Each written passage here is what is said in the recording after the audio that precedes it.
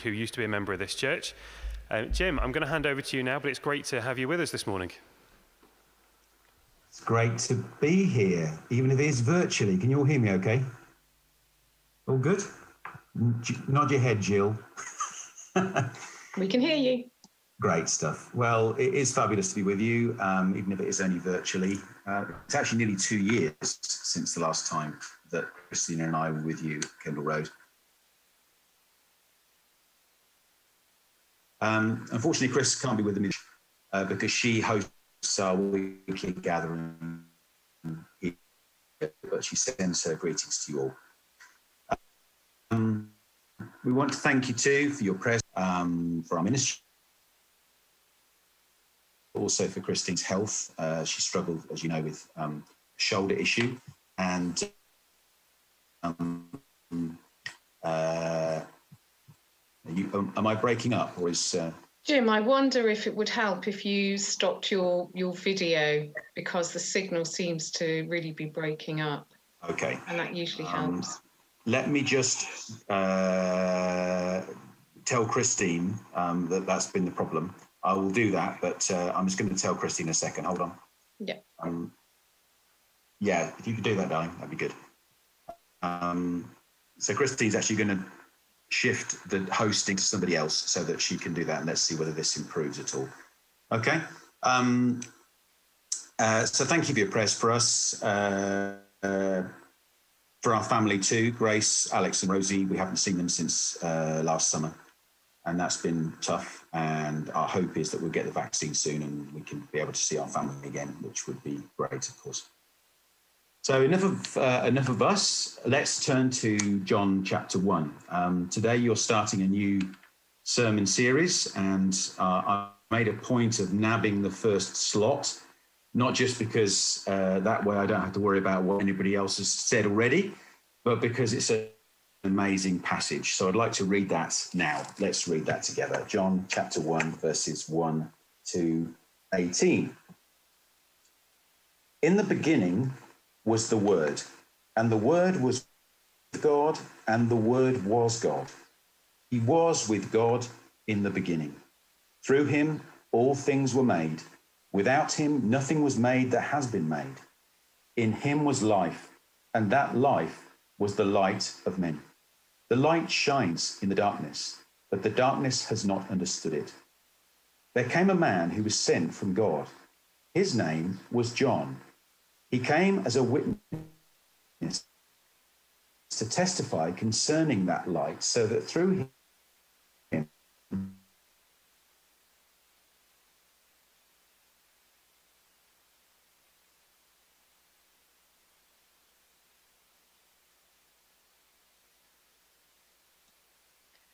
We've lost you, Jim. He came his own, but his own did not receive him. Yet to all who received him, to those who believed in his name, he gave the right to become children of God, children born not of natural descent, nor of human decision or a husband's will, but born of God. The Word became flesh and made his dwelling among us. We have seen his glory the glory of the one and only who came from the Father, full of grace and truth. John testifies concerning him. He cries out, saying, This was he of whom I said, He who comes after me has surpassed me because he was before me. From the fullness of his grace, we've all received one blessing after another. For the law was given through Moses, grace and truth came through Jesus Christ. No one has ever seen God, but God, the one and only, who is at the Father's side, has made him known. How was that? Was that better uh, breaking up? Was it okay? Shall I turn the camera off? I think you probably need to turn the camera off. It did drop okay. a little bit. That's fine.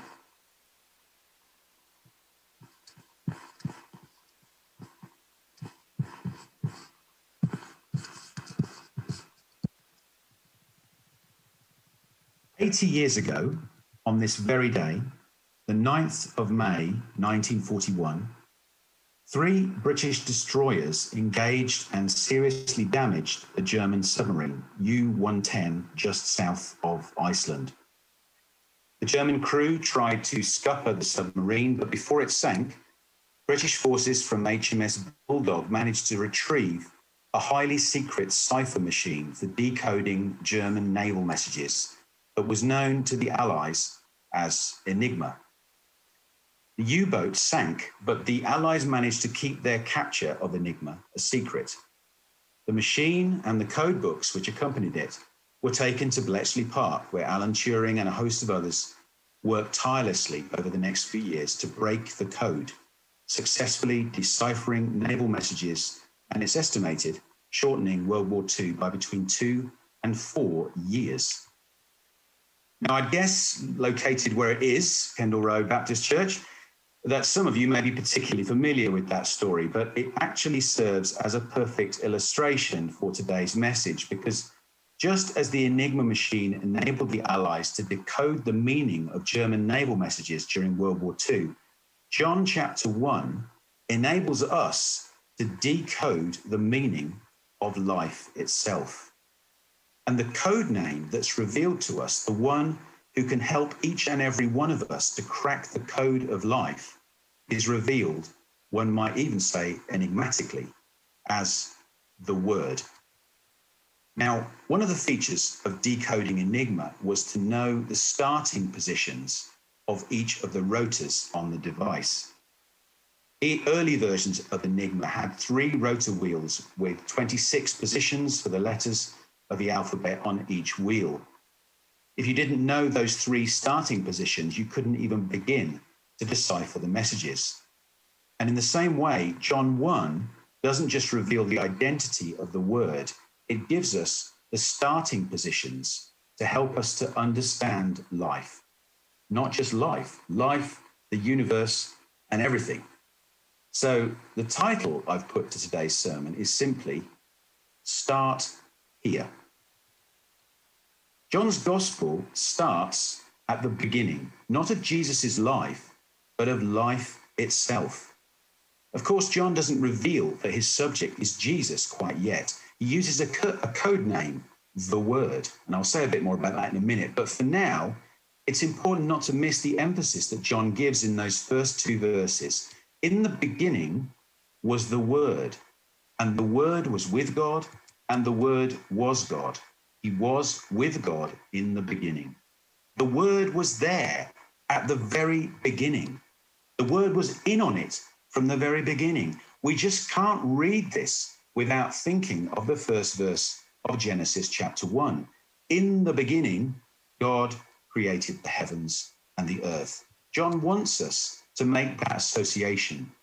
The other Gospels start with John the Baptist or with a genealogy, but John the Evangelist starts at the very beginning because the Word was with God in the beginning. Although the code name of the Word sounds impersonal, this is no Star Wars trust in the Force, Luke, nor is it the government's COVID strategy follow the science, Boris. The Word is a person, not an it. He was with God in the beginning. And then John drives it home in verses three and four. Through him, all things were made.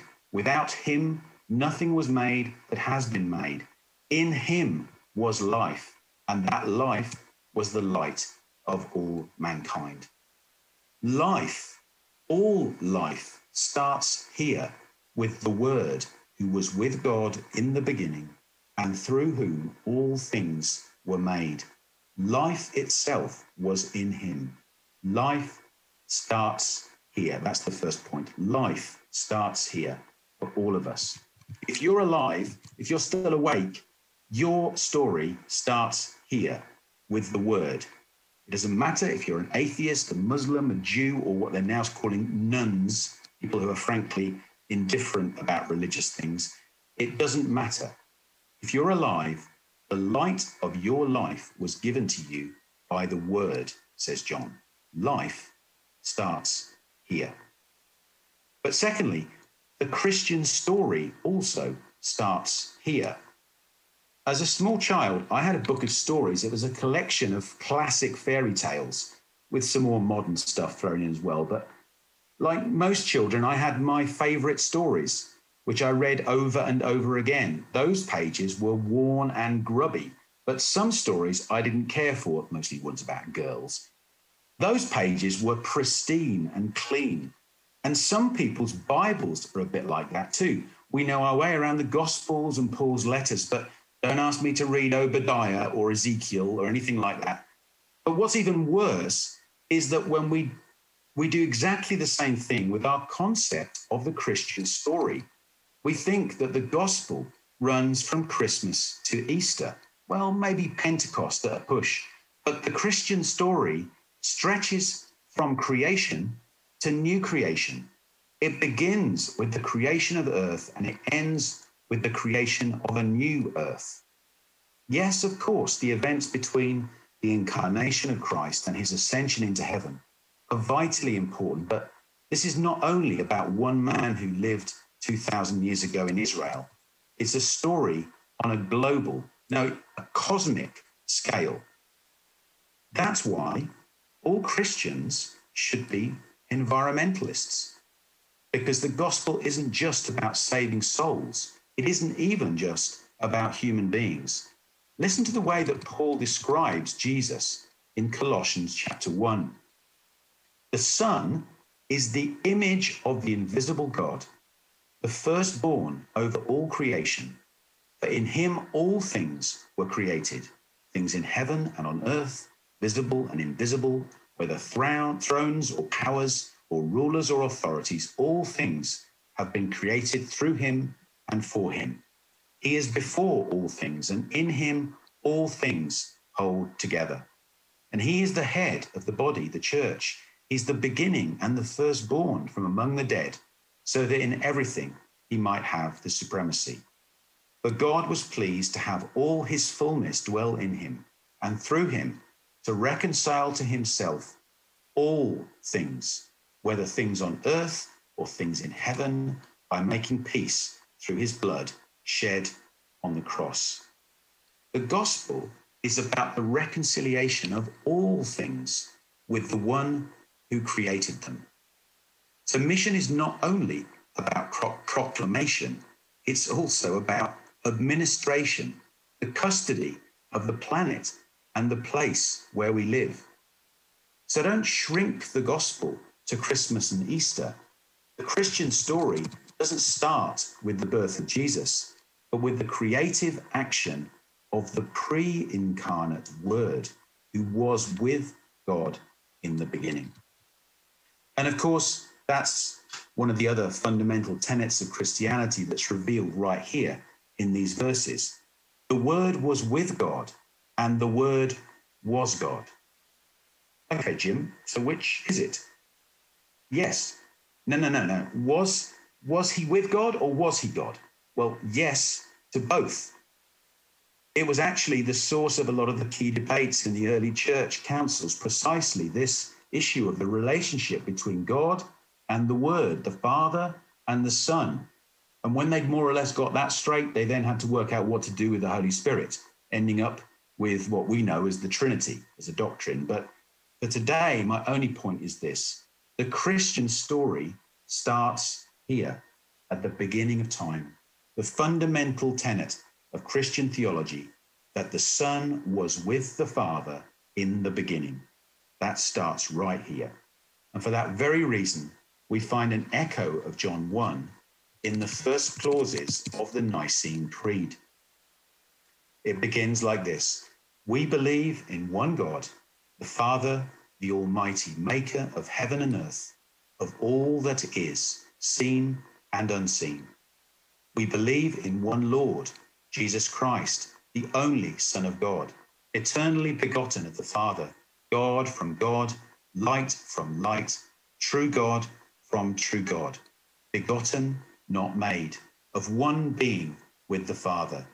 Through him, all things were made. So life starts here, and the Christian story starts here. And thirdly, redemption starts here. This is the start of the story of life, but it is not a fairy tale. Look at verse 5. The light shines in the darkness, and the darkness has not overcome it. Right here at the very beginning, we're confronted with the existence and the power of evil, of darkness in the world. Yes, there is hope, but we first need to recognize that not all is light. Every single human being has been made in the image of God. Every single one of you, no matter how sinful or flawed or weak, you are a bearer of the image of God. But that image has been marred and broken by sin. Sooner or later, we all have to come to the realization that there is darkness in the world and there is darkness too in our own hearts. John tells us, though, not just that life starts here and that the Christian story starts here, but redemption, the solution, the salvation of our souls starts here. The story of how the light triumphs over darkness starts right here. That's, of course, what will be revealed in the rest of the gospel and that you'll be hearing about over coming weeks. But he introduces some of the key themes, even in these verses, things that he'll come back to. It's a bit like the first movement in the symphony, where the themes are starting to be introduced. John talks about light, life, truth, being born of God, seeing God's glory, knowing God. All of those things will be developed further in the weeks to come. And we know from the first verses that the light that has come from God is actually a person. And a person is introduced in this first act of the gospel. But John is keen to point out immediately that though, though this man was sent from God, he was not the light. He was just sent to be a witness to the light. He was sent to point to the light that people might believe. And though verses 6 to 8 introduce this character as a man whose name was also John, one we know as John the Baptist, and you're going to hear lots more about him next week or the next sermon in the series anyway. John, the gospel writer, immediately refocuses on the main character of the story, the one who he has called the Word and the Light. Into the darkness has come the light. He is now in the world, but not everybody recognized or received him. Even those who really should have done so because of what God had already revealed to them as his people in scriptures. Yet to those who did recognize and receive him, those who did believe in him, he gave them the right to become children of God. And then we come to verses 14 to 18, the big reveal. The Word, this person who was both God and with God in the beginning, who is the light to the world, who was made flesh and made his dwelling amongst us. God made man, the Word made flesh, that we might see his glory, the glory of the one and only Son who came from the Father, full of grace and truth. And finally, the mystery is revealed. Just like that moment when the jumble of letters that were fed into the Enigma machine were finally decrypted and they finally made sense. And in the plain text, the identity of the word of the light is revealed. It's not Moses, it's Jesus. For the law was given through Moses, grace and truth came through Jesus Christ. No one has ever seen God but the one and only Son, who is himself God and is in closest relationship with the Father, has made him known. Jesus is the Word made flesh. Jesus is the one and only Son who has revealed God to us, the one who is God himself and is in closest relationship with the Father. He's come to bring light into a world of darkness. The Savior, the Redeemer, is revealed to be Jesus. So life starts here, Christianity, the Christian story starts here, and redemption starts here. But there's one more phrase I want to leave you with this morning. For remarkably, there's another person in view in these verses. Not John the evangelist who wrote the gospel, not John the Baptist who was sent to point to the light, not even the word or the light of the world himself, the one who's just been revealed to be Jesus, the Messiah, the Christ. The other person in view here is you. But John says it's not only that life starts here, but your life starts here.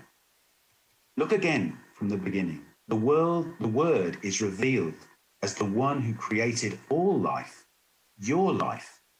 He is the one who offers life to mankind and light, light for you, for your darkness. The light is offered to everyone, but not everyone receives. But if they do receive it, if you receive it, it gives you the right to become a child of God. The word became flesh, just like you and me. Look at your hands. Jesus had hands like yours. Every miracle that he performed involved his body, his hands, his voice. It tends to be Christmas when we hear Jesus referred to as Emmanuel, God with us. And we can sometimes spiritualize that a bit too much. You know, say, well, God is with me in this situation. Well, yes, he is. But John's point is that the word was made flesh. Now, some of us might have a bit more flesh than we'd like, but the point is the word became fully human, just like you, just like me, because that was the only way that he could redeem you, that he could redeem me. So if you're looking for God, here he is, revealed in Jesus. If you're looking for light in the midst of a dark situation, here he is to shine light into your darkness. If you're looking for meaning in life, here he is, the one who was there at the very beginning, inviting you to see your story as part of his bigger story. Because life starts here. The Christian story starts here. Redemption starts here and your story starts here. Do you believe that?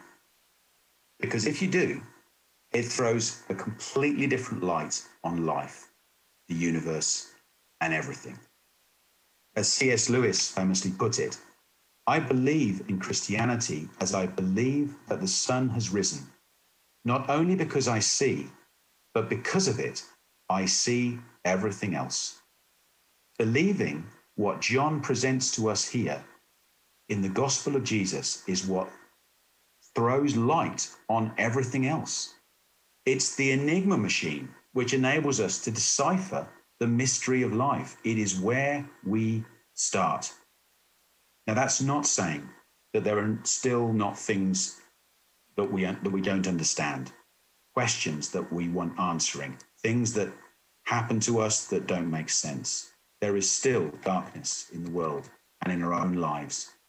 But the light shines in the darkness, and the darkness has not overcome it, overcome it because of Jesus.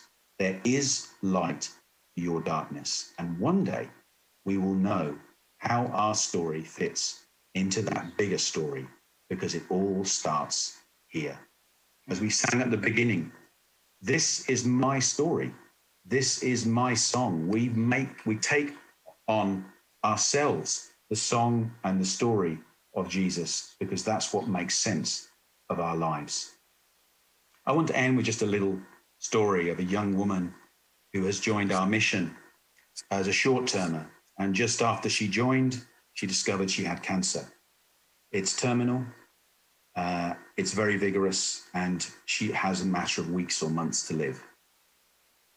And yet, every time she asks us to pray for her, she prays just that she would finish well.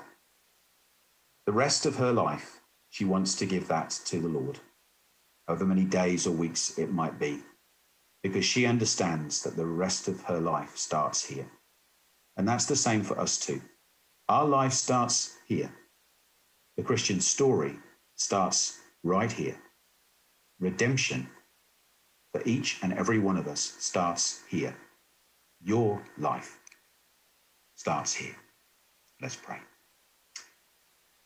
Thank you, Lord, for your word, which speaks so powerfully and reorientates and recalibrates our lives. It gives us a, a, point, Lord, where we can say, yeah, that's a rock I can hold on to. We thank you, Lord, for being life, for being light in our darkness. And thank you, Lord, that we can come to these words afresh today, take from them hope for however long we might have, knowing that, Lord, your story and our story are connected because of what you did on the cross. Thank you, Lord, for redeeming us. Thank you for giving our lives meaning. Thank you, Lord, for infusing us with new hope because we know, even when we don't understand, that, Lord, you are in control, that you are there at the beginning, you are there at the end, and you invite us to join you and be part of your story. Amen.